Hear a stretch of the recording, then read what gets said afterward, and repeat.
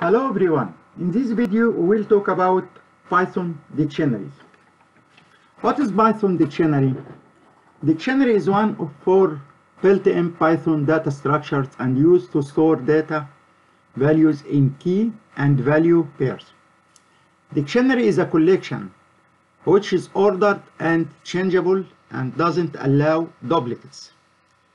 Dictionaries are written within curly brackets and we have keys and value. We will create a dictionary here. dictionary 1, name Jimmy, salary 1500, title chief officer, and print dict 1. We will run and see the result. This is the dictionary. This name is a key. Jimmy is value for name key and salary is a key also and 1500 value title is a key chief officer is a value. Print dictionary type plus dictionary. Get the number of item inside the dictionary with length function length methods print length dictionary. 3 contain 3 keys and 3 values. Duplicates not allowed.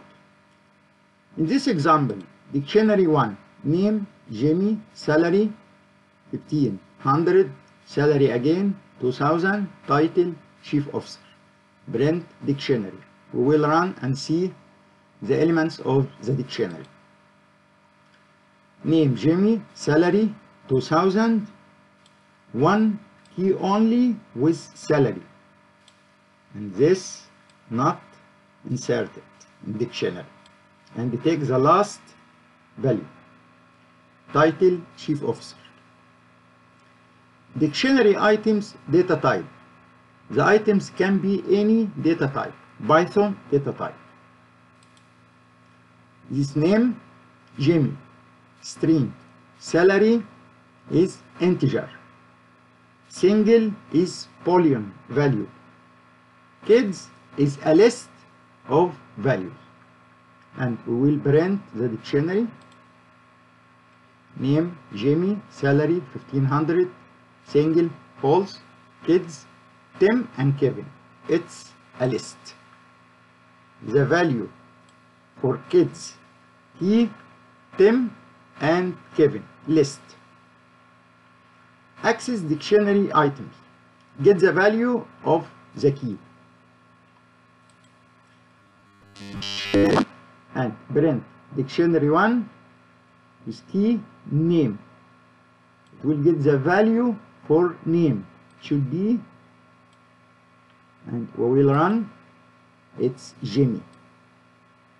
Jimmy is the value for key name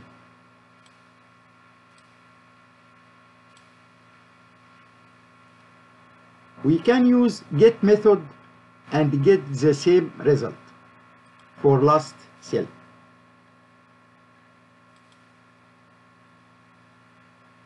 The key kids. And the value for kids Tim and Kevin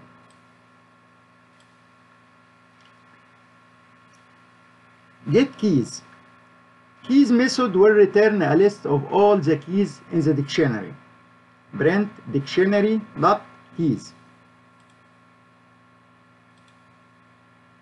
This is the keys for the dictionary. Name, salary, single, kids. Get values. Values method will return a list of all values in the dictionary print dictionary dot values dict. Values. Jimmy. 1500 false. Tim and Kevin. This is the values. Modify dictionary values. This is the dictionary and we will print before modify and we will modify the name change from Jamie to Kevin. Dictionary with key name equal Kevin. And we will print dictionary after modify. Run.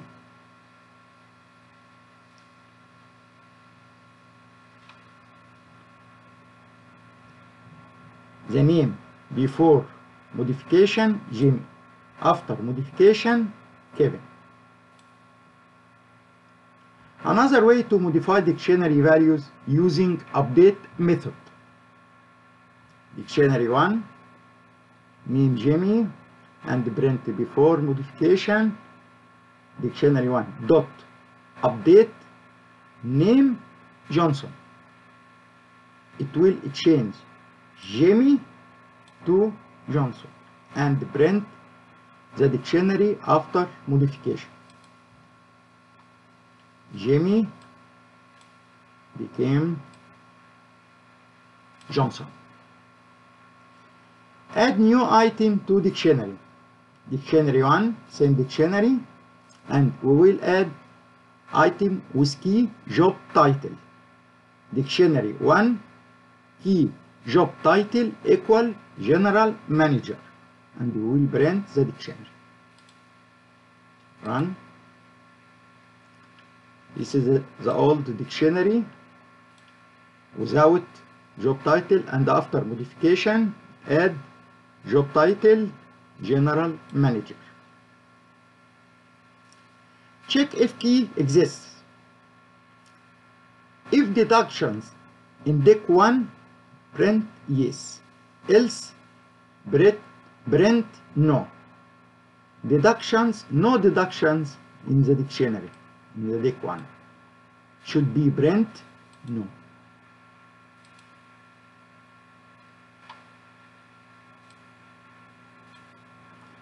Remove dictionary items. To remove dictionary items, we use pop methods. This is the dictionary and dict one dot pop salary. It will be remove the salary key and value. And run.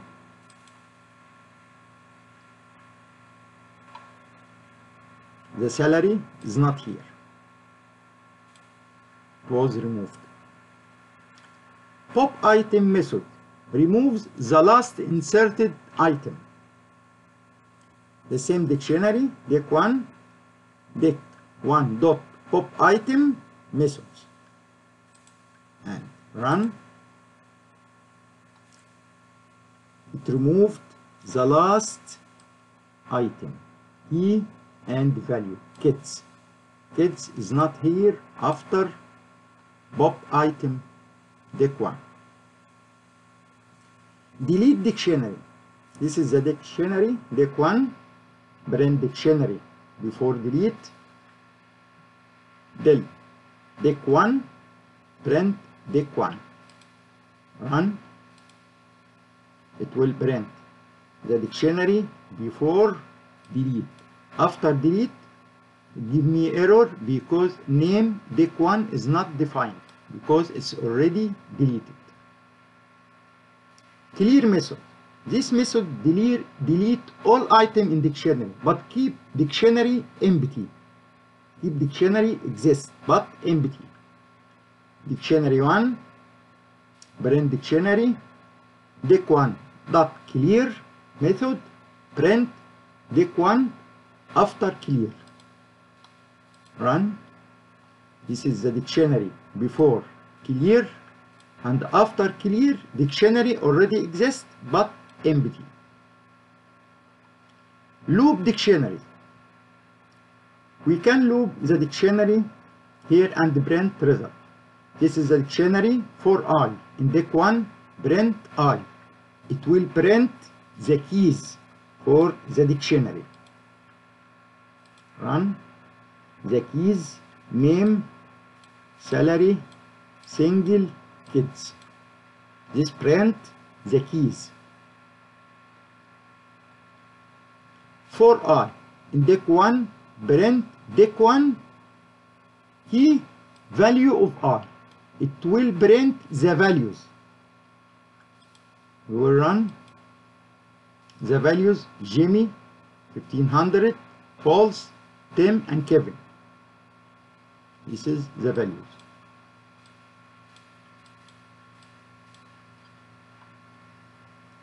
Copy dictionaries. We can make a copy of dictionaries with the copy method. Dict 1 name salary single kids dict 2 equal dict 1 dot copy method print dict 2 dict 2 should be same dict 1 it's copy. From dict 1 make a copy of a dictionary with the dict function. Dict 1 name salary single kids. Dict 3 equal dict dict 1 make a copy from dict 1 and put it into dict 3 print dict 3 the same result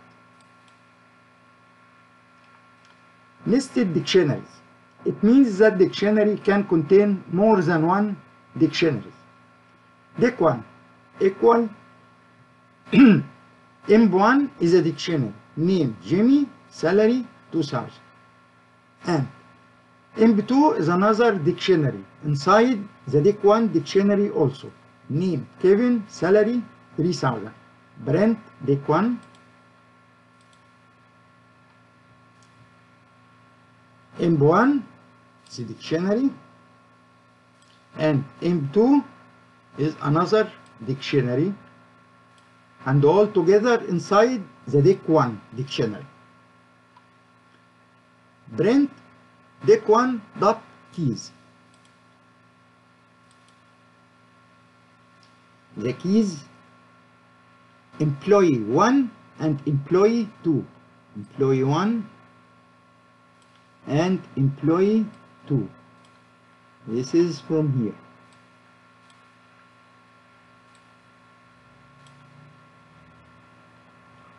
print dict1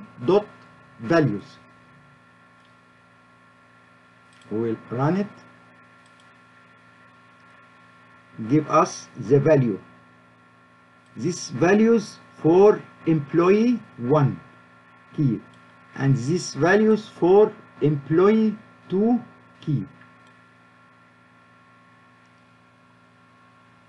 Print dictionary key employee 1 it will print the dictionary for the key will print the value for employee 1 only.